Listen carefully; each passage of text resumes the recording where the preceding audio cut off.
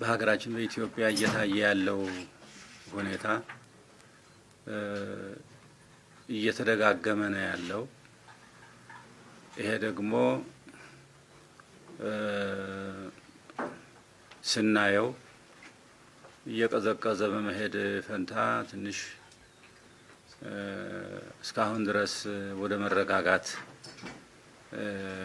በደንብ ሆኖ አልተመለሰም እና እኛ ደግሞ እንግዲህ የሃይማኖት በሃይማኖት አባትነታችን ለሀገራችን ምን ማድረግ እንዳለብን ለሕዝባችን ለወገኖቻችን ምን መንገር እንዳለብን አሳስቦን ነው የተቀመጥነው። እዚህ እንግዲህ ሰው ጥያቄ ካለው ማንም ሰው ጥያቄ ካለው በሰላማዊ መንገድ በተረጋጋ መንገድ በሰከነ ሁኔታ መጠየቅ መብቱ ነው። ሁሉም ኢትዮጵያዊ መብት እንዳለው ይታወቃል። ነገር ግን በቁጣ እና ሀገርን በሚጎዳ ሕዝብን በሚያውክ መንገድ ግን መሆን እንደሌለበት በተደጋጋሚ ተነግሯል። በሃይማኖት አባቶችም ይሁን በሁሉም ህብረተሰብ ህብረተሰቡም ራሱ እየተናገረው ያለው ጥያቄ ካላችሁ በሰላማዊ መንገድ በሰከነ መንገድ ጠይቁ እንጂ በሁከትና በብጥብጥ የሚገኝ ትርፍ የለም እያለ ሁሉም ሀሳቡን እየሰጠ ነው ያለው። እኛም የሃይማኖት አባቶች ይህንን ነው። ከዚህ የተለየ ነገር የለም። ሰው አንድ ነገር እንዲያገኝ ሲፈልግ ያለውን ጠብቆ ነው ያለውን አንደኛ ህጉን ስርዓቱን ጠብቆ፣ ሁለተኛ ደግሞ ያለውን ንብረት ሳይጎዳ አነሰይ ሰው ያለውን ጠብቆ እንዲጨመርለት ይጠይቃል እንጂ ያለውን አጥፍቶ ያለውን አውድሞ ምንድን ነው የሚጠይቀው? እየተሰራ ያለው ከፈረሰ የተሰራ ሁሉ ከፈረሰ የተሰራው ህንፃ ሁሉ አልፎ ተርፎም የሰው ህይወት ካለፈ በኋላ የማይመለስ ነገር እንደገና ሀብት ይጨመርልኝ፣ ስራ ይሰጠኝ ማለቱ ትክክል ነው። ነገር ግን ያለውን ንብረት የሀገር ንብረት የወገን ህይወት ማጥፋትና ማውደም ምንድን ነው ጥቅሙ? ጥቅሙ ጥቅም የለው ጭራሹ። በተለይ በተለይ የሰው ህይወት ማጥፋት የሰውን ህይወት ማጥፋት አደገኛ የሆነ አዝማሚያ ነው። የገዛ ወንድማችንን የገዛ እህታችንን የገዛ ወገናችንን ህይወት ማጥፋት ትልቅ እዳ ነው። ትልቅ ኃጢአትም ነው። በእግዚአብሔርም ዘንድ ኃጢአት ነው። በሰውም ዘንድ ደግሞ ጤና የሚሰጥ አይደለም። በቀላሉ የሚሽር አይደለም።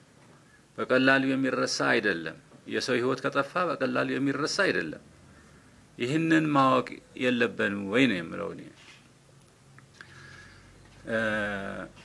ወገኖቻችን ይህንን አንዳንድ ችግር እየታዩ ያሉትን ችግሮች የሚፈጥሩ ልጆቻችን ወንድሞቻችን ምን አለ አእምሯቸውን መለስ አድርገው እንዴ ምን እያደረግን ያለ ነው? ማንን እየጎዳን ያለ ነው? እየጎዳን ያለ ነው እኮ ራሳችንን እኮ ነው እየጎዳን ያለ ነው እንዲሉ ያስፈልጋል። የራሳችንን ሀብት እኮ ነው እያወደም ያለ ነው። የራሳችንን ወንድሞች እህቶች እኮ ነው እየገደልን ያለ ነው። የራሳችንን ንብረት ካወደምን እያወደምን መሆናችንን ማወቅ አለብን ብለው ማሰብ ይኖርባቸዋል። ይሄ ጊዜ ይሄ ይሄ እውነቱ እንደው ሕፃናት ናቸው እንዳንል ከአቅመ አዳም የደረሱ ናቸው ሁሉም ይህንን የሚፈጽሙት ህጻናት አይደሉም። እና እንግዲህ በአእምሯቸው የሰፋ የተማሩ የተመራመሩ ሰዎች ናቸው። እንዴ ሰው እኮ ትምህርት የሚማረው ለማወቅ ነው፣ አእምሮን ለማስፋት ነው። ደግሞ እንደገና ለወደፊት ሀገርን እወክላለሁ፣ ሀገርን እረከባለሁ ብለው የሚያስብ አእምሮ ነው። እንግዲህ ይሄ ጉዳይ ካልታሰበበት ምን ሊሆን ይችላል? በእውነቱ አሁን ደግሞ እንደገና አዲስ ወሬ የሰማ ነው፣ በአይናችንም ያየ ነው። ክቡር ጠቅላይ ሚኒስትር ስራቸውን እንደለቀቁ ነው ትናንትና የሰማ ነው እና እኔ በበኩሌ ያው ጠቅላይ ሚኒስትሩ ጥሩ ሰብእና ያላቸው በተፈጥሯቸው ጥሩ ሰው እንደሆኑ ነው። በእንደዚህ አይነቱ የስልጣን ርክክብ በእንደዚህ አይነቱ ስልጣን በገዛ ራስ መተው ለሀገራችን የመጀመሪያ ስለሆነ ትልቅ ነገር ነው። ሀገርን አኩርተዋል። ከሰለጠኑ ሀገሮች ጋር እኩል አድርገውናል እና በጣም ጥሩ ስራ ሰርተዋል። ጥሩ ስራ ሰርተዋል። ይሄ ትምህርት ነው ለአፍሪካም፣ ለእኛም ደግሞ ኩራት ነው። ለራሳቸውን ክብር ነው። በእውነቱ ለራሱ አንድ መሪ ውጣ ሳይባል በራሱ ወጥቻለሁ ወርጃለሁ ሲል ክብር ነው፣ ትልቅ ክብር ነው በእውነቱ ለሀገርም ለራሱም ለዓለምም ሁሉ እና በዚሁ አመስግኛቸዋለሁ ለማለት ፈልጌ ነው። ሀገራችን አሁን ኢትዮጵያ ያለችበት ሁኔታ ሁሉንም ሰው የሚያሳስብ አማኞቻችንም በያሉበት ተጨንቆ ወደ አላህ ወደ ፈጣሪያቸው ዱዓ እንዲያደርጉ ጥሪ የምናስተላልፍበት እጅግ በጣም አስፈላጊው ሰዓት ላይ እንገኛለን። አሁን ሀገራችን ላይ የተፈጠረው ነገር የወደመው ንብረት፣ የሰው ሕይወት በከንቱ የፈሰሰው እጅግ በጣም የሚያሳዝን እና የሁላችንንም ቀልብ የሰበረ ነው። ይህን ሁኔታ ለማስቆም ደግሞ ሁሉም ሰው የየራሱን ጥረት ማድረግ ይጠበቅበታል። ምክንያቱም ይሄ ከቀጠለ ወዴት እየሄደ እንዳለ መረዳት ይቻላልና ነው። ስለዚህ እኛ እንደ ሃይማኖት አባትነታችን መንግስትም ማድረግ ያለበትን ነገር እንዲያደርግ ህዝቡም አማኞቹም ማድረግ የሚገባቸውን ነገር እንዲያደርጉ የበኩላችንን ጥረት ማድረግ ይጠበቅብናል። ይኸው የዛሬውም የዛው አካል ነው። ከዚህ በፊትም ስናደርግ ነበረ። ዋናው መንግስትንም እንደ ሃይማኖት አባት ያመሰገን ነው የታሰሩ ሰዎችን መፍታት መጀመሩ፣ ይቅርታ ማድረጉ ጥሩ ምላሽ ነው። ይሄ ሊቀጥል ይገባል የሚል መንግስት ከወሰዳቸው ለሰላሙ መምጣት ይበጃል ብሎ ከወሰዳቸው የመፍትሄ እርምጃዎች ጥሩ መሆኑን አይተናል። እኛም ከዚህ በፊት ጥረት ስናደርግም የነበረበት ጉዳይ ስለነበረ ሌሎችም ከዚህ በላይም ሄዶ መንግስት የህዝብ ጥያቄዎችን ለመመለስ መሄድ እንዳለበት አሁንም ለማሳሰብ እንወዳለን። እኛም እንደ ሃይማኖት አባትነታችን መስራት የሚገባንን ጥረት እንቀጥላለን። ለህዝቡም የምንመክረው ነገር ጥያቄ ለሚያቀርቡት አካላትም ሁሉ የምንመክረው ነገር ለተፎካካሪ ፓርቲዎችም የምናስተላልፈው መልእክት ሁሉ ነገር በሰላምና በሰላም መንገድ መሆን እንዳለበት። ያለበለዚያ ምትክ የማይገኝለት የማይመለስ የማይተካ የሰው ሕይወት እያለፈ ትልቅ ጊዜ ፈጅቶ የተገኘ ንብረት ኢኮኖሚያችን እየወደመ የሚሄድ ከሆነ ወደማይፈለግ አቅጣጫ ስለሚሄድ ይሄንን መመለሱ ሰላሙን የመመለሱ ስራ የመላው የሀገራችንን ሕዝብ የሁሉም ሰው ስራ መሆን እንዳለበት ሁሉም ሰው የኔም የቤት ስራ ነው ብሎ መውሰድ እንዳለበት ለማስገንዘብ ነው። በሌላ በኩል ክቡር ጠቅላይ ሚኒስትሩ በገዛ ፈቃዳቸው ስልጣናቸውን የለቀቁበት ሁኔታ እጅግ በጣም አርቆ አስተዋይነት የታየበት ለሀገር ለሰላም ለሀገር ክብር ለዜጎች ክብር ስሉ የከፈሉት ትልቅ መስዋዕትነት ለሌሎችም የአፍሪካ ሀገሮች አፍሪካ ብቻ አይደሉም፣ በተለያዩ የዓለም ሀገራት ላይ ላሉት መሪዎች ሰላማዊ የስልጣን ሽግግር መሸጋገሪያ ማበጀትና ማስተማሪያ መንገድ ስለሆነ እኛ እንደ ሃይማኖት አባትነታችን በበጎና በጣም በጥሩ ሁኔታ ነው ያየ ነው። ይሄ ትልቅና ተስፋ የሚሰጥ ወደፊትም ሀገራችን ላይ እየተለመደ የሚሄድ ምንም የሕዝቡን ኑሮ የሕዝቡን ሕይወት ሰላማዊ ሕይወት ሳያናጋ ጭቅጭቅ ሳይፈጠር ስልጣን መቀባበል እየተለመደ እንዲሄድ መንገድ የከፈተ ነው ብለን በበጎ መልኩ አይተነዋል። በሌላ በኩል ከዚህ በኋላ የማንም ሕይወት እንዳይጠፋ፣ ማንም እንዳይሞት፣ ማንም ዜጋ ክብር ያለው ሕይወቱን እንዳያጣ፣ ንብረት እንዳይወድም፣ ኢኮኖሚያዊ እንቅስቃሴዎቻችን እንዳይገቱ፣ እንዳይስተጓጎሉ ሀገራችን ኢትዮጵያ ከዚህ በፊት የነበራት በጎ ገጽታ እንዲመለስ ሕዝቡም በዓለም ላይ በዓለም ዘንድ የሚታወቅበት የመቻቻል፣ የመከባበር፣ የመደጋገፍ እሴቱን እንዳይነጠቅ እንዳያጣ በሰላም እጦት ሌላ ገጽታ እንዳይላበስ ሁሉም የበኩሉን ጥረት ማድረግ እንዳለበትና በሁሉም መሳጅዶቻችን በቤተ እምነቶቻችን ዱዓ እንዲደረግ ሁሉም ወደ አላህ ወደ ፈጣሪው እንዲጮህም ጭምር በራሴና በኢትዮጵያ እስልምና ጉዳዮች ጠቅላይ ምክር ቤት ስም መልእክቴን በአላህ ስም ለማስተላለፍ እወዳለሁ። አመሰግናለሁ። የተከበራችሁ የኢትዮጵያ ሕዝቦች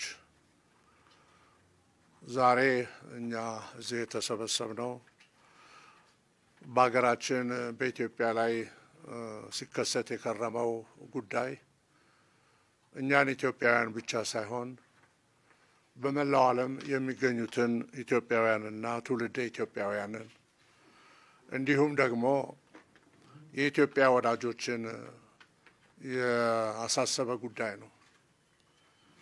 ይህንንም ጉዳይ ቤተ ክርስቲያናችን ከምዕመናን ጋር በመሆን ልዩ ትኩረት በመስጠት በጸሎት በጾም ወደ እግዚአብሔር ስናቀርብበት የነበረ ጊዜ ነው።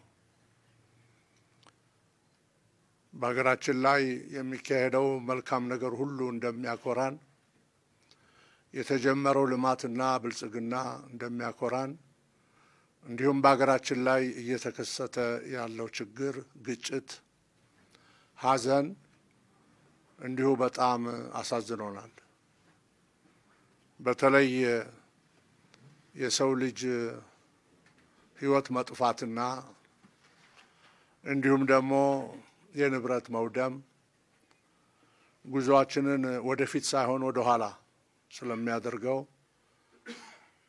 ይሄ አይነት ሁኔታ ለሀገራችን የሚጠቅም ሳይሆን የሚጎዳ መሆኑን ተገንዝበናል። ስለዚህም ነው ከመንግስትም ጋር በመመካከር እንደ ሃይማኖት አባቶችም መንግስትም መልካም አስተዳደርን በማስፈን ሁኔታቸውን ሁኔታዎችን እንዲያስተካክል በምንመክርበት ጊዜ መንግስትም ሰምቶ የታሰሩት እንዲፈቱ ማድረጉ እንዲሁም ደግሞ በተቻለ መጠን የተጀመረው ልማት እንዲቀጥል ማድረግ ማቀዱ መልካም ነገር ነው። ሆኖም አሁንም በተለይ በሃይማኖታችን በእምነታችን ሁላችን የአንድ አምላክ ልጆች መሆናችንን ስናውቅ የአንድ አባት ልጆች መሆናችንን ስናውቅ በሀገራችን ላይ የተከሰተው በዘር የተነሳ የመለያየትና በዘር ላይ ተመርኩዞ የሚነዛው ጥላቻ በጣም አሳዝኖናል። ይሄ በማንኛውም ሃይማኖት የሚያሳዝን ሁኔታ ነው። በተለይ ለእኛ ኢትዮጵያውያን ይሄ አያምርብንም። ኢትዮጵያውያን በዜግነት በዚች ሀገር ላይ የተወለደ ሁሉ እኩል ነው። በሃይማኖታችንም እያንዳንዱ ሕይወት ክቡር ነው። ስለዚህ ማንኛውንም ሕይወት የሚጎዳ ሁሉ ሰውን ያዋርዳል፣ ሰውን ዝቅ ያደርጋል። ስለዚህ በጣም ያሳዘነን በዘር በጎሳ በብሔር ላይ ተመስርቶ የሚነዛው ጥላቻ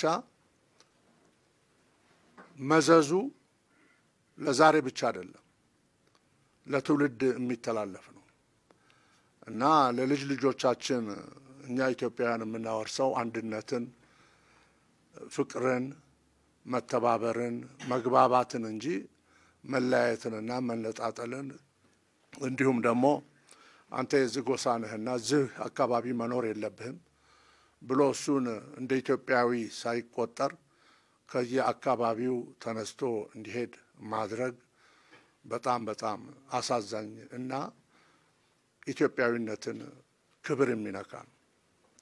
ስለዚህ ነው እኛም እንደ ሃይማኖት አባቶች አደራ የምንለው ሀገራችን ትልቅ ናት። ትልቅም እንደሆነች ለሌሎችም አርአያ ትሆናለች ብለን የምንጠብቃትን አገር እንዳናዋርዳት ነው። ሌሎች አፍሪካውያን ወንድሞቻችንና እህቶቻችንም እኛም በታላቅ ዓይን ነው የሚያዩት። የአፍሪካ ዋና መቀመጫ የሆነው በዚህ ነው። በሀገራችን በአዲስ አበባ ብቻ ከመቶ ሰላሳ በላይ ልዩ ልዩ ኤምባሲዎች አሉ። እነዚህ ሁሉ ይመለከቱናል እና ኢትዮጵያውያን ረጋ ብለን የምናስብበትና የበለጠም በጾም በጸሎት ተግተን በአሁኑ ጊዜ የራሳችንን ክብር መልሰን ለራሳችን ክብር የምንሰጥበት ወቅት ነው። እንደ ማንኛውም ኢትዮጵያዊ ዜጋ ክቡር ጠቅላይ ሚኒስቴር በራሳቸው ፍቃድ ስልጣን ለቅቄ ያለው ሲሉ ዋዝኛለሁ። እኔ በመጀመሪያ ምን ሆነ ምን ነገር ደረሰ በማለት አዝኛለሁ። በኋላ ግን ራሳቸው እያስረዱ ሲሄዱና ይህች ሀገር ተለውጣ ይህች ሀገር የወደፊት እቅዷ እንዲሰምር እኔም የበኩሌን ድርሻዬን ለመስጠት የእኔ መውረድ የእኔ ዝቅ ማለት የቀድሞ ጠቅላይ ሚኒስትር መባል የሚጠቅም ከሆነ አድርገዋለሁ ነው ያሉት። ይሄ የሚያኮራ ትልቅ ከአንድ መሪ የሚጠበቅ ንግግር ነው። ወደፊትም ሌላ ጠቅላይ ሚኒስቴር ይመደባሉ። እኛም ጠቅላይ ሚኒስቴር እዚህ ቦታ ላይ ሲመጡ ይሄንን ህዝብ ይሄን ትልቅ ህዝብ የማስተዳደር ኃላፊነት ነው የሚረከቡት። ስለዚህ ወደፊትም ህዝባችን ሳይለያይ ንብረትን ሳያጠፋ ህይወትን ሳያወድም ጥያቄዎቹን በሚገባው መንገድ በማቅረብ በመግባባት መፍታት ደረጃ ላይ እንድንደርስ ነው። የሚቀጥለው ሰኞ የካቲት አስራ ሁለት የኢትዮጵያን ሰማዕታት የምናስብበት ቀን ነው። ለሀገራቸው ነጻነት ሲሉ ራሳቸውን አሳልፈው የሰጡባት ቀን ነው። እኔ የዚህ ብሔር ነኝ፣ እኔ የዛ ብሔር ነኝ ብለው አይደለም። ኢትዮጵያውያን ሰማዕታት የካቲት አስራ ሁለት ህይወታቸውን የሰጡት ኢትዮጵያውያን ስለሆኑ የእነሱም አጽም የእነሱም ህይወት እንዳይወቅሰን መጠንቀቅ አለብን። ስለዚህ በዛን ቀን የእኛ ካቶሊካውያን ምዕመናን አደራ ምለው ፊታችን ሰኞ የካቲት አስራ ሁለት ሰማዕታትን በማሰብ በጾም በጸሎት እንድንተጋና እግዚአብሔር አምላክ አገራችንን ኢትዮጵያን እንዲባርካት እንዲጠብቃት በእመቤታችን በቅድስት ድንግል ማርያም አማላጅነት ይህችን የኢትዮጵያ አምላክ ይጠብቃታል የሚላትን አገር ሰላሟን፣ ፍቅሯን እንድታሰጠን አማላጅናት እንድትሆን እመቤታችንም እንድንለምን አደራ ለማለት እወዳለሁ። እግዚአብሔር ኢትዮጵያን ይባርክ ይጠብቅ። በዚህ ስፍራ የምንገኘው በአንድ በኩል ቤተ እምነቶቻችንን በመወከል በሌላ በኩል ደግሞ የሕዝባችንን ስሜት ይዘን ነው። አገራችን በአሁኑ ጊዜ ያለችበትን ሁላችን እናውቃለን። እቺ አገር አሁን ከገባችበት ሁኔታ መውጣት የምትችልበት አቅም አላት። ያንን አቅም ግን በዚህ ሰዓት መፍጠር የምንችለው መንግስት፣ ህዝብ፣ የፖለቲካ ፓርቲዎች፣ ሌሎችም በጋራ በመደማመጥ ሲሄዱ ነው ያንን አቅም መጠቀም የምንችለው። ገና የምንፈጥረው አቅም አይደለም፣ አቅሙ አለንና። ስለዚህ ነው በዚህ ሰዓት ጥሪ ለማድረግ የፈለግ ነው። ለኢትዮጵያ ከውጭ ሌላ ኃይል ሌላ ወገን መጥቶ የሚመክርበት ሁኔታ የለም። ይህ ህዝብ የሚደማመጥ ለየት ያለ እሴት ያለው ህዝብ ነው። ስለዚህ ነው በዚህ ሰዓት ለእርስ በርሳችን ጥሪ ለማድረግ የተገደድ ነው። አገራችን ያለችበትን ሁኔታ በመገንዘብ መንግስታችን እየወሰደ ያለው እርምጃ በየደረጃው እየተወሰዱ ያሉ እርምጃዎች የሚያስመሰግኑ ናቸው፣ የሚያበረታቱ ናቸው፣ ተስፋም የሚሰጡ ናቸው። እንደ ቤተ ክርስቲያናችን የመንግስታችን እየሄደ ያለውን ከቅርብ ጊዜ ወዲህ እየሄደ ያለውን አካሄድ በአድናቆት እየተመለከትን ነው። የሰለጠነ አካሄድ ነው።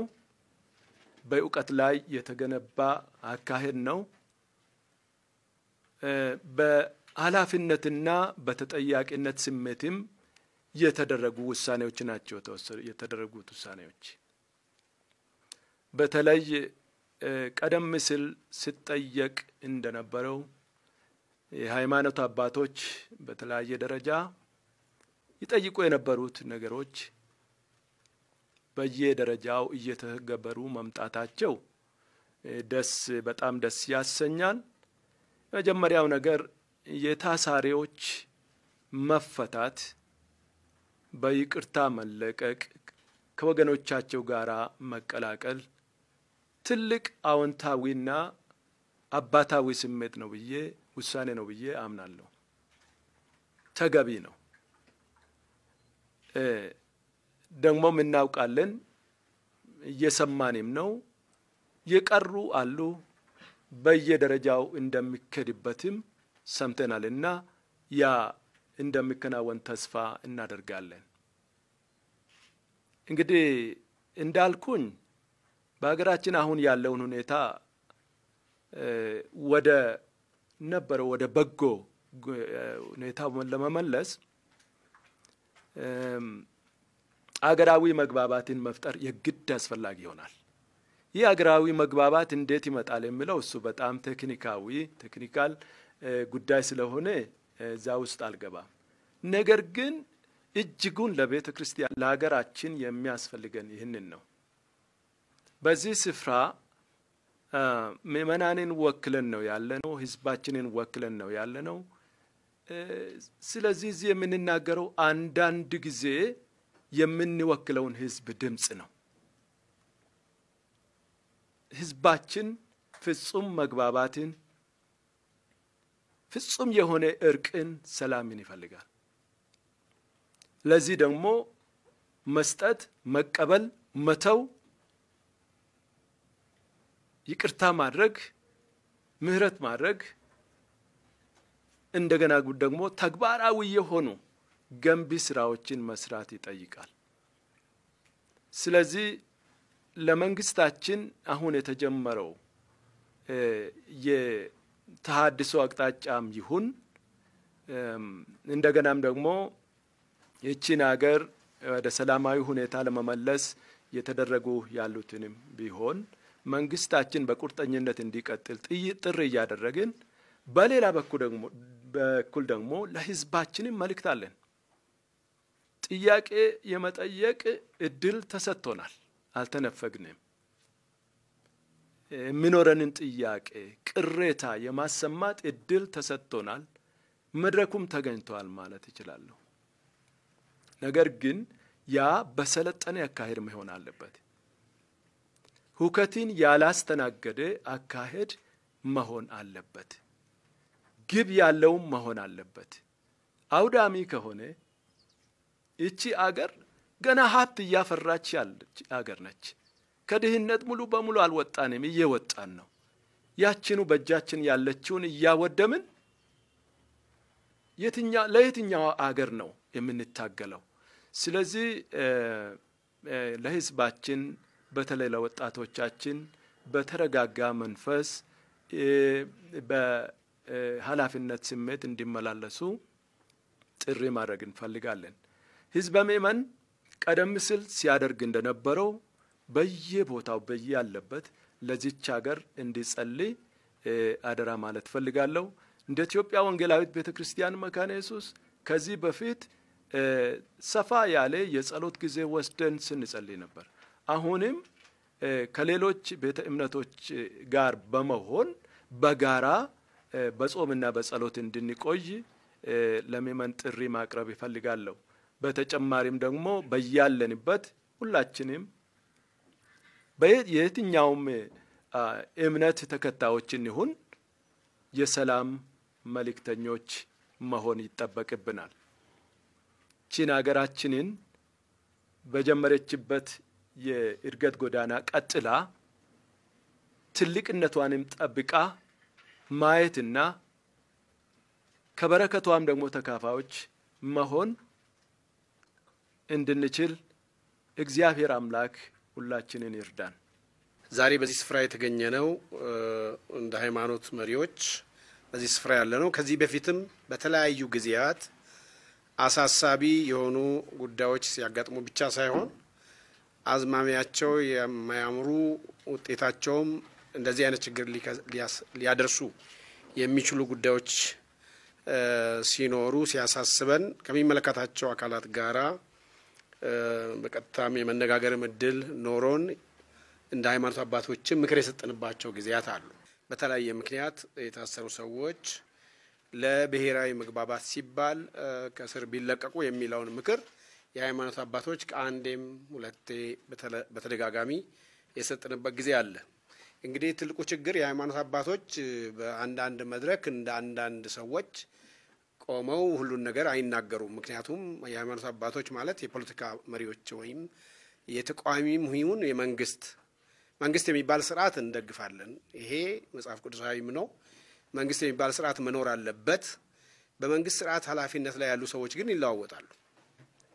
የማይለወጥ ከዙፋኑ ማንም ሊነቀንቀው የማይችል ፈጣሪ ብቻ ነው። ይሄ በእምነት ያለ ነገር ነው። አብዮተኞች ድሮ ኮሚኒስቶቹ እግዚአብሔር የለም የሚሉት እሱንም ሞክረውት ነበረ፣ ግን እንደማይሆን አውቀውታል። እኛ አልፈናል። በተለያየ እድሜ ክልል ውስጥ ያለን ሰዎች ነን። መናገር እንፈልገው አንደኛ ኢትዮጵያ የልጆች፣ የህፃናት፣ የወጣቶች፣ የአዛውንቶች አገር ናት እንጂ የአንድ እድሜ ክልል ወገን ብቻ አይደለችም። የሁላችንም አገር ናት። ስለዚህም ከህፃናት ጀምሮ እስከ አዛውንቶች ድረስ በሰላም መኖር በዚች ምድር ላይ መቻል አለባቸው። ሌላው ደግሞ ብዙም ሰው አንድም ሰው አስፈላጊና ጠቃሚ ነው። የሁሉ ሰው ህይወት እኩል ነው። በዚህ ጉዳይ በተለይ አንዳንድ መንፈሳዊ መርሆች አሉ ሊጣሱ የማይችሉ በተፈጥሮ ውስጥም ግዴታ የሆኑ ለምሳሌ ሰው የሚዘራውን ያንኑ ያጭዳል ይላል መጽሐፍ ቅዱስ። እኔ ዛሬ በሆነ ምክንያት አቅም አለኝ ብዬ ግፍን ብዘራ ግፍ አጭዳለሁ ማለት ነው። እንደምታደርገው እንዲሁ ይደረግብሃል ይላል። ስለዚህ አንዳንድ ጊዜ ከፍርድ አናመልጥም፣ ሁሉን የሚያውቅና የሚፈርድ ስላለ ማለት ነው። ምን ለማለት ብዬ ነው? ማንንም ሰው በብሔሩ ምክንያት፣ በሃይማኖቱ ምክንያት ወይ በእድሜው ወይ በሆነ ምክንያት የሚያጠቃ ካለ የሚጎዳ ካለ መንግስት እንኳን ፍትህ ባይሰጠው ፍትህ የሚሰጥ ደግሞ ሉዓላዊ አምላክ አለ። እያንዳንዳችን አብዛኞቻችን ኢትዮጵያውያኖች የአንድ ወይም የሌላ ሃይማኖት አባል ነን እና ከሁሉ በላይ ፈጣሪ መኖሩን የምናውቅ ነን። ስለዚህ እሱን መፍራት ቀዳሚ ነገር መሆን አለበት ማለት ነው። በመሆኑም በዚች ምድር ላይ እኔ እስከዚህ እድሜ በኖርኩበት ሁኔታ በኢትዮጵያ ሕዝቦች መካከል በብሔር ለይቶ መጋጨት አልነበረም፣ ወደፊትም ሊኖር አይገባም። ጥፋተኛ ሰው ካለ ጥፋተኛ ሰው በሕግ ነው ሊፈረድበት የሚገባው ማለት ነው። ሰዎች በሰለጠነው ዓለም እንዳውም capital punishment የሞት ፍርድ ራሱ በሕግም እንኳን መደረግ የለበትም። ነፍስ የሰጠው እሱ ራሱ ይውሰድ የሚሉ ናቸው። እኛ ቢያንስ እኛ አንድ ሰው ከህግ ውጪ ህይወቱን ሊያጣ አይገባውም ማለት መቻል አለብን። እኔ ሳደርገው ትክክል አይሆንም፣ ሌላ ሰው ሲያደርገው ስህተት አይሆንም ማለት ነው። ማንም ቢያደርገው የአንድ ሰው ህይወት ያለ አግባብ በሚያልፍበት ጊዜ ንብረት ሊተካ ይችላል። የሰው ህይወት ግን ሊተካ አይችልም። አንድ ሰው አንዳንድ ጊዜ አንድ ሰው አይደለም። ምናልባት እዛ ሰው ውስጥ ያለው ፖቴንሻል ነገ ለአገር ሊጠቅም የሚችል ነው። በደርግ ዘመን በጣም ብዙ ወጣቶች አልቋል። አስገራሚ አእምሮ የነበራቸው ወጣቶች አልቋል። የሉም ዛሬ እነሱ እና አንዳንድ ጊዜ ትውልድን ጭምር የሚጎዳ እድገትን ወደ ኋላ የሚገታ ነገር አስፈላጊ አይደለም። ሰዎች ነንና በሰዎች መካከል የሀሳብ ልዩነት ይኖራል። ለምንድን ነው ብዙ ሃይማኖት የሚኖረው? አምላክ ለምን ጨፍልቆ አንድ ሃይማኖት እንድንከተል አያስገድድንም? እኔ እኔ የማመልከው አምላክ ዲሞክራቲክ ነው ብዬ ስለማስብ ነው። ማስገደድ ከፈለገ ይሄን እምነት ካልተከተላችሁ አየር ከለክላለሁ ማለት በቂ ሊሆን ይችላል እሱ። ነገር ግን ሰዎች የተለያየ እምነት አላቸው። አስገዳጅ ሕሊናቸው የሚፈቅድላቸውን ትክክል ነው ብሎ የሚያስቡትን እምነት ይከተላሉ ሰዎች። ወደ ብሔር ስንመጣ ግን ብሔር መርጦ አይወለዱም ሰዎች። ብሔር መለወጡም አይችሉም፣ ቢፈልጉም አይችሉም።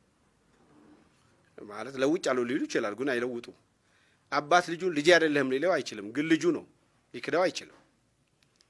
ስለዚህ እኛ ትልቅ አገር ነን፣ ብዙ ህዝብ ነን። ብዙህነታችን የበረከታችን ምንጭ ነው መሆን ያለበት እና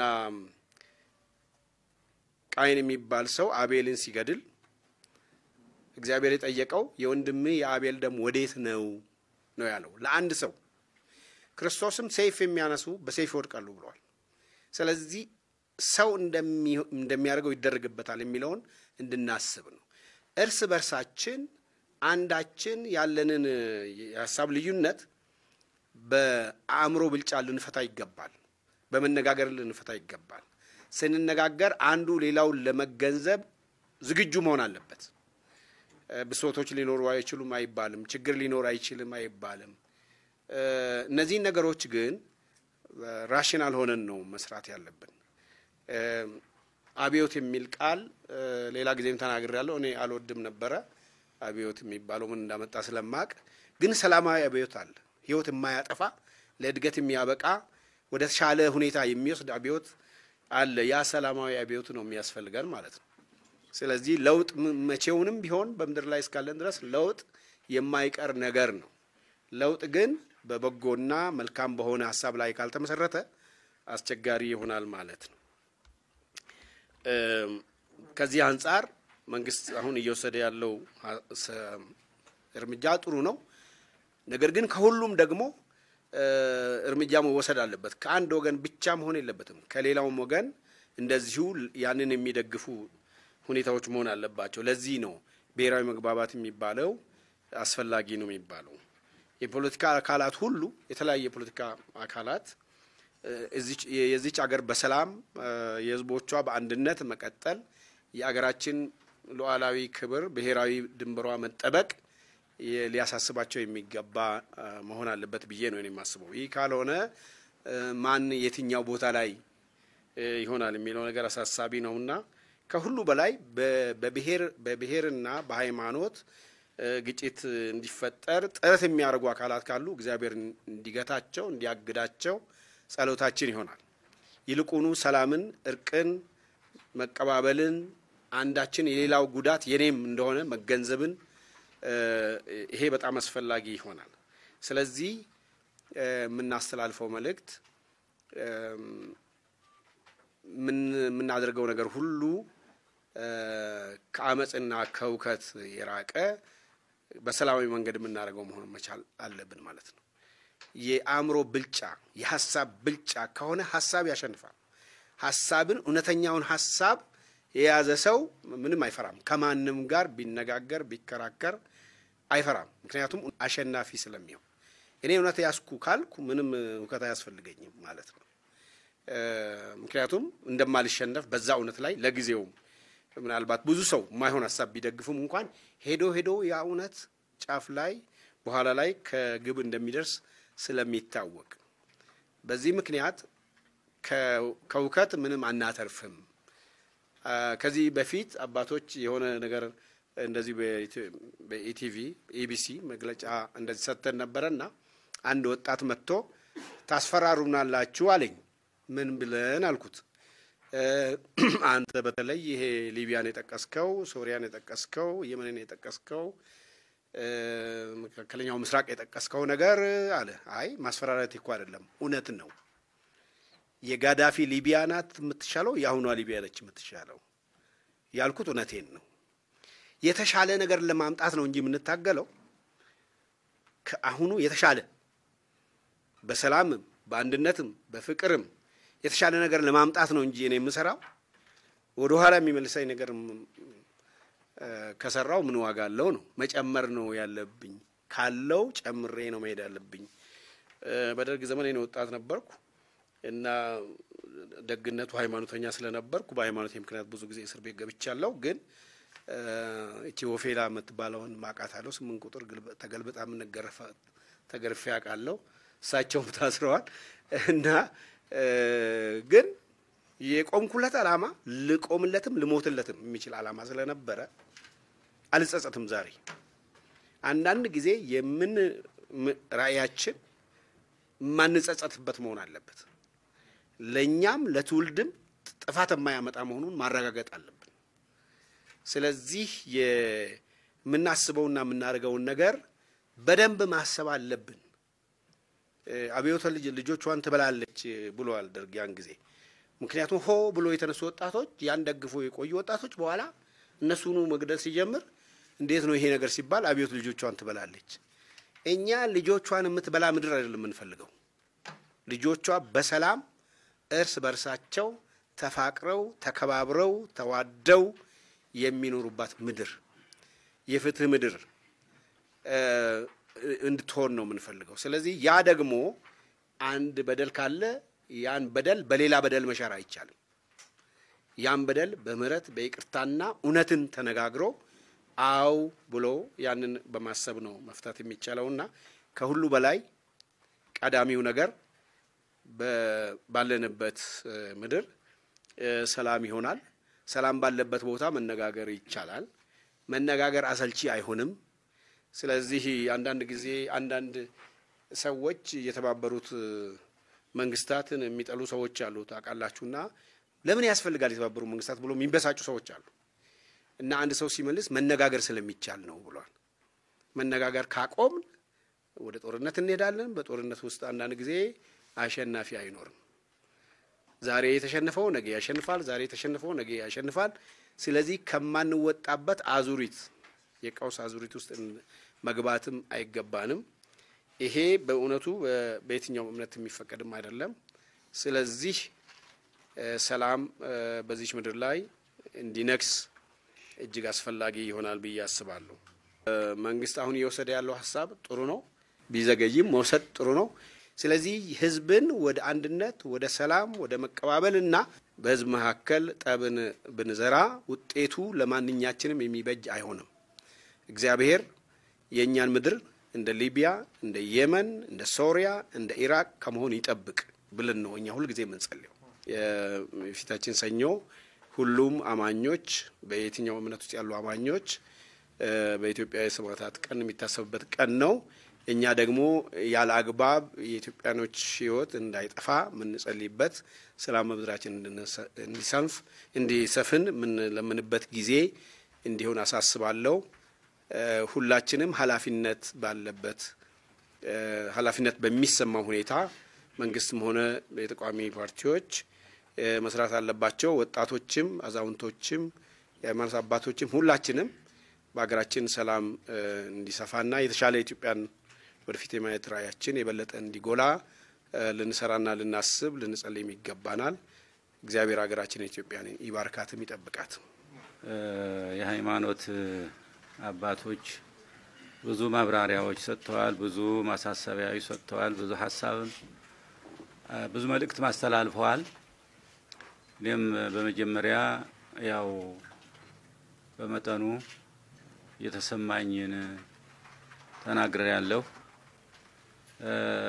አሁን እንግዲህ ልጨምር የምፈልጋቸው አንዳንድ የተወሰኑ ነጥቦች ስላሉ ይህን እድል በማግኘቴ አመሰግናለሁ። እንግዲህ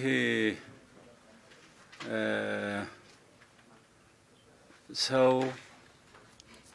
ነጻ ፈቃድ የተሰጠው ፍጡር ነው። ከሌሎቹ ሁሉ ተለይቶ በዓለም ላይ ያሉት ፍጥረታት ብዙ ናቸው፣ በርካታ ናቸው። ነገር ግን ነጻ ሕሊና የሰጠው የመወሰን መብት የተሰጠው ለሰው ልጅ ነው። ነገር ግን አንዳንድ መጻሕፍት አሉ የሚሉት ነገር አላቸው። ምንድን ነው የሚሉት? አቅረበ ለከ እሳተ ወማየ ደይ እዴከ በዘፈቀድከ እግዚአብሔር ነጻነቱን ሰጥቶሃል።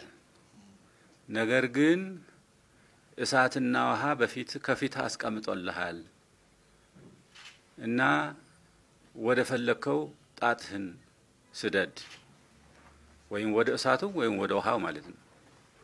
እንግዲህ እሳቱን ከውሃው ይልቅ እሳቱ ይሻለኛል ብሎ የመረጠ ሰው ካለ ወደ እሳት እጁ መላክ ይችላል፣ መብቱ ነው። ምክንያቱም ነጻነት ተሰጥቶታል። የለም እሳቱ ያቃጥለኛል፣ ወደ ውሃው እጄን ብሰድ ግን ከሚቀዘቅዝ በቀር ምንም የሚያደርስብኝ ጉዳት የለም ብሎ እንዲመርጥ ነው።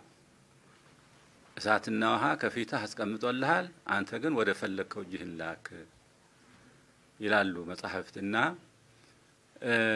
እኛ መምረጥ ተሰጥቶናል ብለን ወደ ጥፋት ወደ እሳት የምንገባ ከሆነ እያየን እሳት እንደሚበላ እንደሚያቃጥለን እያየን ወደ እሳት የምንገባ ከሆነ ሰዎች አይደለንም ማለት ነው። የተሰጠን አእምሮ በሚገባ አልተጠቀምንበትም ማለት ነው እና ይህ ጎጂ ወደ ሆነው ነገር ማምራት ለማንም አይጠቅምም። ለሀገራችን ቅድም ተነግረዋል። ሁሉም ለሀገራችንም አይጠቅምም፣ ለሕዝባችንም አይጠቅምም፣ ለትልቁም ለትንሹም ሁሉም ጥቅም አይሰጠውም። ጥቅም አይሰጠው ጥፋት ብቻ እንጂ ልማት አይደለም። እና ቅድም እንደተነገረው እኔ አንዳንድ ነገሮች ተነግሯል፣ ግን ለማጠናከር መጨመር የምፈልገው ምንድን ነው? ለምሳሌ የእስረኞች መፈታት እስረኞች መፈታት መቼም የሃይማኖት ሰዎች በተለይ እኛ የሃይማኖት ሰዎች እንደመሆናችን መጠን ይቅርታ እምነቶቻችን ሁሉ የይቅርታ መድረኮች ናቸው። ይቅርታ ማድረግ ይገባል። ለታሰሩት መፈታትን መስጠት መፍቀድ ይሄ በእምነቶቻችን ሁሉ የሚወደዱ የሚከበሩ ናቸው እና እስረኞቹ ሲፈቱ ሁላችንም ደስ ብሎናል። መንግስትም አሁን ቅድም እንደተነገረው እያደረገ ያለው ነገር ሁሉ የሚከበር ነው፣ የሚወደድ ነው። ለምሳሌ ትዕግስት ራሱ ትዕግስት ትልቅ ነገር ነው። ከነገ ከዛሬ ነገ ይመለሳሉ። ጥፋቱን ይጸጽታቸዋል፣ ስህተቱ በስህተታቸው ይጸጸታሉ ብሎ ትዕግስት ማድረጉ የሰው ሕይወት ነውና የሰው ሕይወት ስለሆነ በትዕግስት መጠበቁ መውነቱ የሚደገፍ ነው። በተለይ ወጣቱ ትውልድ ትኩስ ኃይል ስለሆነ ምን እንደሚጨብጥ ምን እንደሚያደርግ አያውቅም። ትኩስ ነው። ስለዚህ በዚህ ትኩስ ኃይል ትኩስ ኃይሉ አጥፍተሃል ብሎ እርምጃ መውሰዱ በኋላ ይጸጽታል በኋላ ይጸጽታል እና ትዕግስቱ ጥሩ ነው ለማለት እፈልጋለሁ። ከዚህ ሌላ ደግሞ ቅድም ለማጠናከር ነው ይሄን የምመልሰው። ይሄ ዘረኝነቱን ነው። ዘረኝነቱ አገር የሚያጠፋ ነው፣ የሚጎዳ ነው። ልንመልሰው ወደማንችል አደጋ ነው የሚጥለን። ዘረኝነቱ እንደ አባቶቻችን ወንድሞቻችን እንዴ ስንት ዘመናት ያሳለፉባትን በሰላም በፍቅር በአንድነት ተጣምረው ያሳለፉባትን አገር አሁን የአሁኑ ትውልድ ይልቁንም የተማረ ትውልድ ያወቀ ትውልድ የተመራመረ ትውልድ ወደዚህ አይነቱ ድርጊት ማምራት እጅግ አደገኛ ስለሆነ በዚሁ ሁሉም እንዲያስብበት ይገባል። አንዳንዴ እዚህ የምንሰበሰበው በየቤታችን ሁላችንም ስብሰባ እናደርጋለን፣ እንጸልያለን፣ እንማለላለን። እዚህ የምንመጣው በብሔራዊ ሚዲያ ለሁሉ እንዲደርስ ብለን ነው እንጂ በየቤታችን የማንጸልይ ሆነን አይደለም። እና እዚህ የምንመጣው ሁሉም ለሁሉ መልእክቱ ለሁሉ እንዲነርስ ነው። መልእክታችንም እንዲሰማ ያስፈልጋል። እኛ ሁላችንም እኔም በበኩሌ ኢትዮጵያ ኦርቶዶክስ ተዋሕዶ ቤተክርስቲያን ወክዬ ነው የምናገረው። ሌሎችም ደግሞ የየራሳቸውን ሃይማኖት እና እርግጥ ውክልና በጋራ ሁነን ነው እየተናገርን ያለ ነው። ነገር ግን በተለይ ደግሞ በየቤታችን የየራሳችን የሆነ እምነት ስላለን የየራሳችን እምነት ወክለን ነው እየተናገርን ያለ ነው እና ለምንድን ነው ለሁሉ መልእክታችን ለሁሉ በጋራ እንዲደርስ እኛ አሁን ለምሳሌ ይሄ ድሩ ነበረ እንዴ እንደዚህ አይነት በህብረት የሃይማኖት ተቋማት እንደዚህ አንድ ላይ ሆነ ተቀምጠን እንደ ዛሬ ተደርጎ እኔ አላውቅም እኔ አላውቅም። አሁን ነው ለምንድን ነው ይሄ የተደረገው? ለህብረት፣ ለአንድነት፣ ለሀገር ሰላም ተብሎ ነው። አብረን በጋራ ሁነን ሀገራችንን እንጠብቅ፣ በጋራ ሁነን እየተመካከር በጸሎትም ይሁን በውይይትም ይሁን በአንድ ላይ በመታየትም ይሁን ሀገራ የሀገራችንን ሰላም እንጠብቅ ብለን ነው እኮ አብረን ቁጭ ብለን እነዚህ በህብረት ሆነን መልእክታችንን የምናስተላልፍ እና አገራችን የህብረት፣ የአንድነት፣ የፍቅር የብዙ ሃይማኖቶች የብዙ ብሔር ብሔረሰቦች ሀገር ናት። እንግዲህ በዚህ ሆነው እኮ መያዝ የምንችለው አንድ ላይ ሆነን አንድ ላይ ሆነን መልእክታችንን እያስተላለፍን ነው አገሪቱን እንድትኖር የምንፈልገው እና አሁን ለምሳሌ ትናንት ሐሙስ በቤተ ክርስቲያናችን ብዙ ሰዎች የተሰበሰቡበት የአዲስ አበባ አድባራት ገዳማት አለቆች የተሰበሰቡበት ሰፊ የሆነ ስብሰባ ነበረን። ሌላ ጉዳይ የለም። ስለዚህ ነው የምንነጋገረው። ስለዚህ እግዚኦታም አውጀናል። ጸሎት ይደረግ እግዚኦ እንዲባል ሁሉ አውጀናል በበኩላችን። ነገር ግን ብሔራዊ ሚዲያ ስላልነበረ እዚያም ነው ተወስኖ የሚቀረው። ስለዚህ ይሄ ግን እዚህ መተን ግን በይፋ ሁሉም እንዲሰማ ብለን ነው እና እያልን ያለ ነው። ይሄ በእውነቱ ይሄ መልእክታችን ወገኖቻችን ሁሉ በየእምነታቸው በያሉበት በውጭም በውስጥም ያሉት ወገኖቻችን ሁሉ መልእክታችንን እንዲቀበሉልን ነው የምንለምነው። መልእክታችንን እንዲቀበሉልን እንዲያስቡ እንዲያስተውሉ ነው እና ስለ ሰኞ ጉዳይም ተነግረዋል። የአርበኞች የጥንት አርበኞች አባቶች በዓል ይደረጋል። በተለመደው ቦታ ይደረጋል። በየዓመቱ በሚያደርጉበት ቦታ እኛም ሁላችን በዛ እንገኛለን እና ያ በዓል ደግሞ ያው አባቶቻችን መስዋዕትነት የከፈሉበት ለአሁኑ ትውልድ ትምህርት የሚሰጡበት ለአሁኑ ትውልድ ትምህርት የሚያስተላልፉበት ነው። ያ በዓል ዝም ብሎ አይደለ የሚከበረው ለትውልድ ምንድን ነው ያለፈው የነበረው ካሁን ቀደም የነበረው ምንድን ነው ብሎ ያንን ለማስተማር ነው በዓሉ የሚደረገውና ነገ ሰኞ ሁላችንም እናስብ። ለሀገራችን ለሀገራችን የሞቱበት እለት ስለሆነ እኛም ለሀገራችን የምናስብበት እለት መሆን አለበት። በጸሎት በምላ ከእግዚአብሔር ጋር በመነጋገር እና እንግዲህ በእውነት ከዚህ በላይ እኛ እንግዲህ በዚች ትውልድ በዚች ክፍለ ዘመን ያለ ነው እኛ ነን ሀገሪቱን ለመጠበቅም ለማጥፋትም ለማልማትም እኛው ነን ያለ ነው። እንግዲህ ሌላ ሰው የለም። ካለማን ትውልድ ያመሰግነናል፣ እግዚአብሔርም ይባርከናል። ትውልድ ሁሉ ካጠፋን ደግሞ እግዚአብሔር ይጎዳናል፣ ታሪክም ይጎዳናል፣ ታሪኩ ይጎዳናል፣ ስማችን ያጠፋዋል። እና በዚች ዓለም ያለው ትውልድ ሁሉ እንደ አባቶቻችን እንደ እናቶቻችን ይችን ሀገር ጠብቀን ለትውልድ ማስተላለፍ አለብን። ሰላማዊት የሆነችዋን ሀገር ይሄ መልእክት ለሁሉም ይድረሰው በእውነቱ እና ከዚህ እንግዲህ ላይ ያው ሁላችንም የሃይማኖት